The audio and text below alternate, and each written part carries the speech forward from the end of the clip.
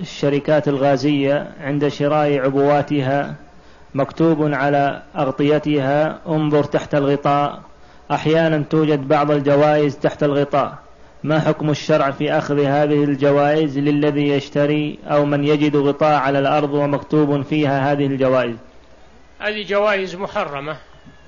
هذه جوائز محرمة لأنهم يقصدون من ورائها الدعاية علشان الناس يشرون لو ما لهم حاجة علشان لعلهم يعثرون على هالجائزة الخفية. فهذا في الحقيقة أكل لأموال الناس بالباطل ولا تجوز هذه الجوائز.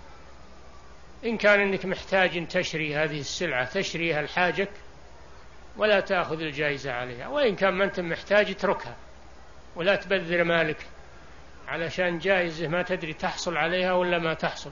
إذا حصلت عليها في غير غير مباحة. نعم لأنها أكل للمال بالباطل. نعم.